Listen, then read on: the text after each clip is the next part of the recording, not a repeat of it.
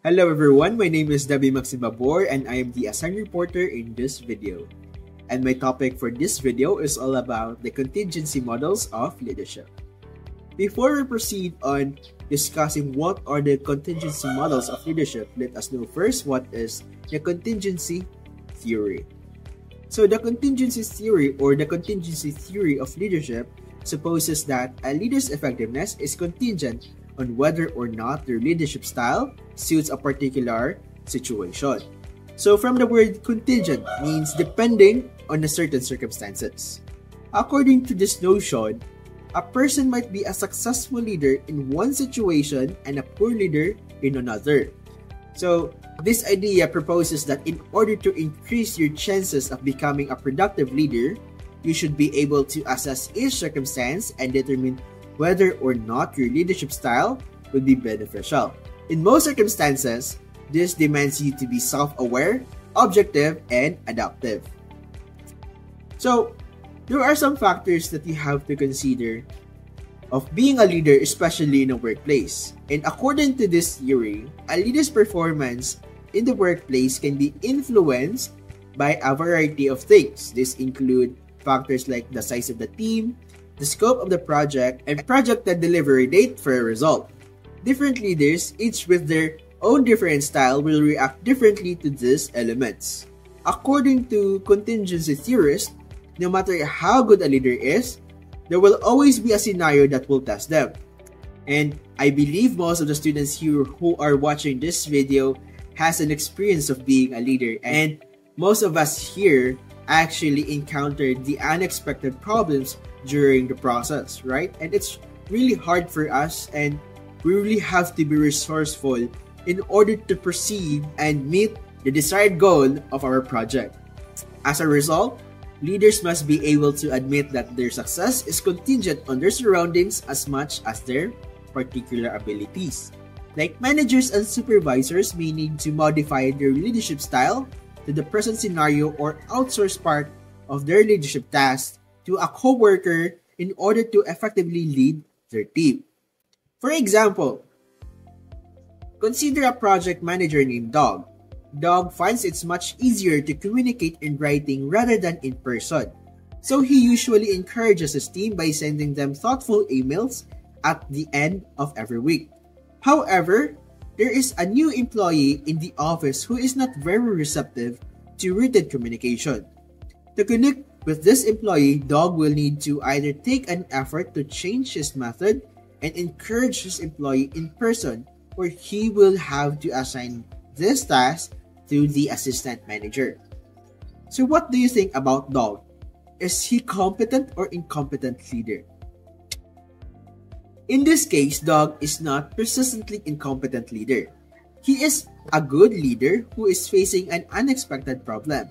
If Doug realizes that he will need to adjust to his environment rather than uh, trying to push his customary tactics, he may still be a very productive leader who effectively encourages his team. So, the contingency theory of leadership is impacted by a range of specific factors in the range of workplace, including the maturity level of employees. Are they responsible enough or not? Relationship between coworkers, work pace, management style, typical work schedule, goals and objectives, standards for behavior, company policies, employees' work styles, and employees' morale. So you really have to consider and know these things, especially in managing a group. Okay? To understand this theory more, we will look at the three different models of contingency leadership. First is the Fiedler's model.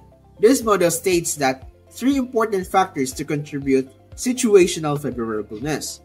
To be productive, leaders must consider these factors. So we're going to talk about these factors later on.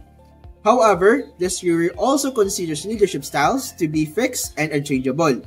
Therefore, if a leader's style is not a good fit for a particular situation, they will need to be replaced by a different leader. So to apply Fiedler's theory, you have to determine your leadership style and your situation's favorableness using Fiedler's model. Next model is the situational model. Contrary to Fiedler's model, this model believes that leaders should first consider variables that affect their workplace and then decide the best tactic for how to proceed. So, on contrary to Fiedler's model, the situational leadership model suggests that the best option for leaders is to adapt their leadership style to fit their team members and their individual abilities. Also, situational leadership, also called the Hersey-Blanchard model, is primarily concerned with the maturity level of team's members. So there are three factors of maturity level. And these are high maturity team members are experienced and able to make decisions independently.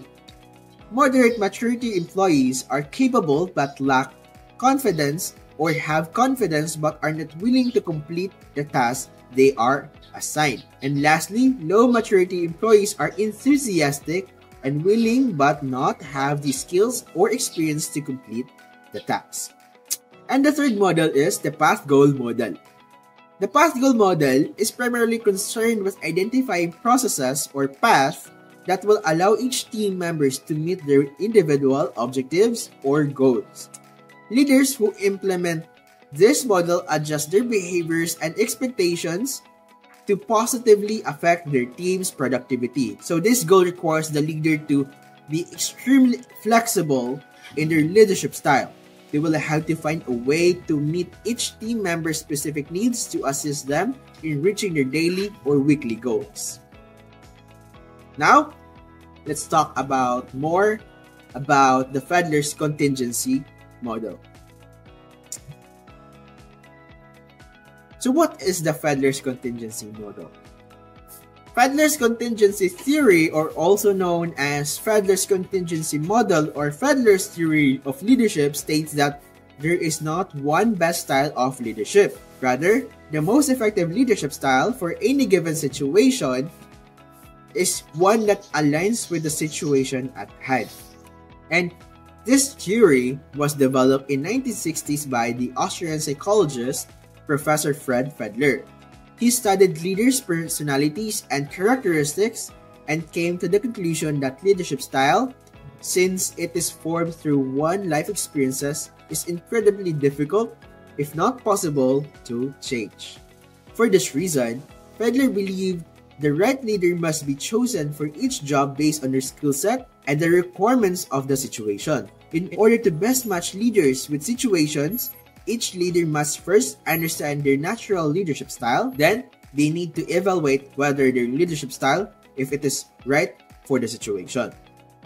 To put simply, Fiedler determined that leaders' ability to succeed rests on two factors, which are natural leadership style and situational favorableness.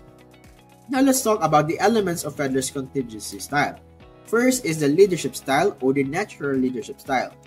To help you determine your leadership style, Fredler developed the Least Preferred Coworker Scale or LPC scale. The scale asks you to describe the coworker you least prefer to work with.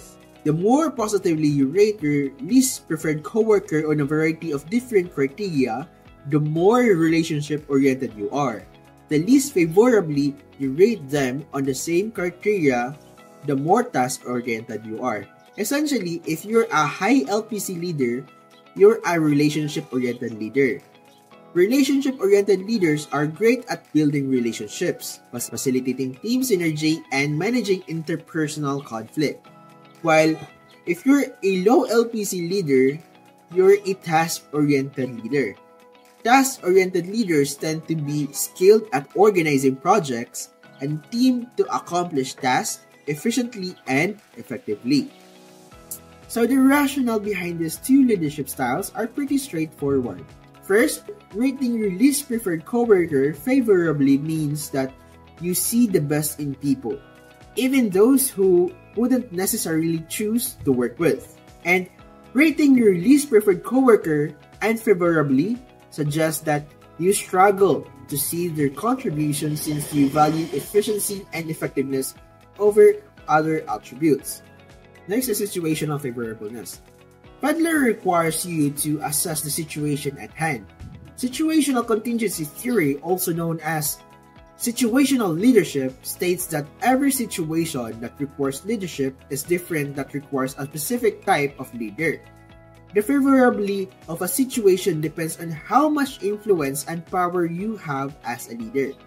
Situational favorableness has three variables, which is leader-member relations, task structure, and position. First is the leader-member relations. Leader-member relations are all about trust, like does your team trust you as a leader? The more they do, the higher your degree of leader-member relations and the more favorable the situation is. Next is the task structure. Task structure refers to the clarity of the task required to complete a project. Higher task structure results in a more favorable situation. The more clear-cut and precise tasks are, the higher the situation task structure. Whereas the vaguer they are, the lower the situation task structure. And lastly, position power. Position power refers to the authority you have over your team as a leader. If you can reward them, punish them, or tell them what to do, your position power is high. As you can imagine, higher position power makes the situation more favorable. Now, let's know about how to apply Fiedler's contingency model to be a better leader. So the first step is understand your leadership style. In order to identify your natural leadership style, we return to the LPC scale. And as you can see on your screen, that is the table of the LPC scale. So, and to determine your score, you can interpret your score as follows. If you scored 73 and above, a high LPC score, you are a relationship-oriented leader. And if you scored 54 and below, a low LPC score, you are a task-oriented leader. But if you scored between 55 and 72, you are the qualities of both a relationship-oriented and a task-oriented leader. Deciding which style fits you better will take you further exploration through other leadership theories. So your second step is assess the situation. In order to assess the situational favorableness to determine leadership effectiveness in a specific environment, Fiedler poses three questions. Are leader-member relations good and trustworthy or poor and untrustworthy? Are the tasks at hand clear and structured or confusing and unconstructed? Is your authority and influence over your team strong or weak? Don't solely rely on your own judgment of the situation. Ask the group members to anonymously answer these same questions and calculate the average of all answers to best understand the situation's favorableness. Seeking your team's insight is a great way to empower them and improve team morale.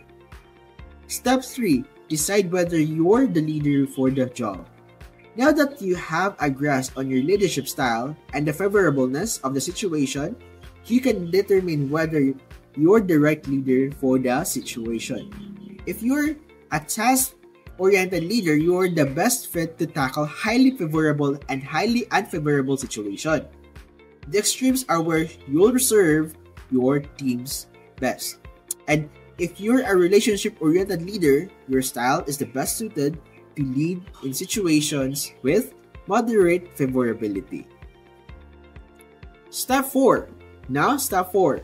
Consider delegating to the right leader. So, so according to Fiedler, leadership style is fixed and cannot be changed. This means that if a leader style isn't right for a situation, that leader may need to delegate leadership to the right person.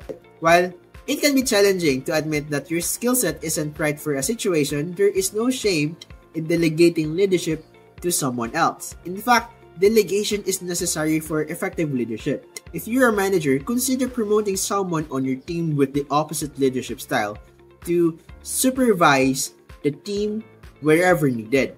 Alternatively, if you're overseeing a cross-functional project, see if one of the cross-functional team members is better fit for the situation. Next is step 5, trying to change the situation. Improve leader-member relation. If it would help the situation to improve, leader member situations.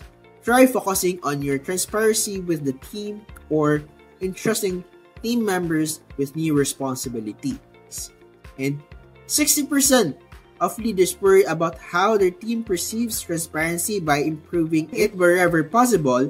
Leaders can feel confident that their team members will trust them. By improving it wherever possible, leaders can feel confident that their team members will trust them, which in turn improve leader-member relations. Now, let's talk about the advantages and disadvantages of Fiedler's model.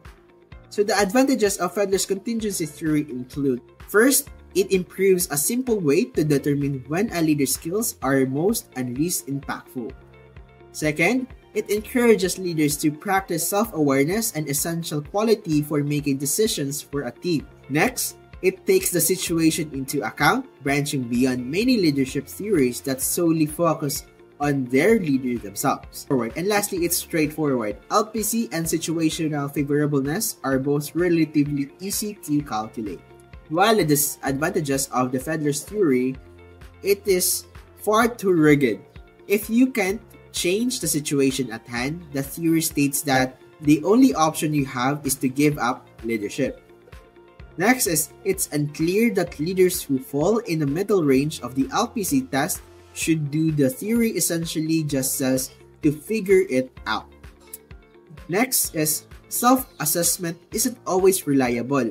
Even when we try to be self-aware when completing the LPC test, our egos and biases have a way of inferring, even subconsciously. And lastly, the theory may discourage leaders who are doing a fine job, especially if they perceive their leadership style and situation to be at odds when they actually aren't. So that's all my report, and I hope you learned something. Thank you for watching.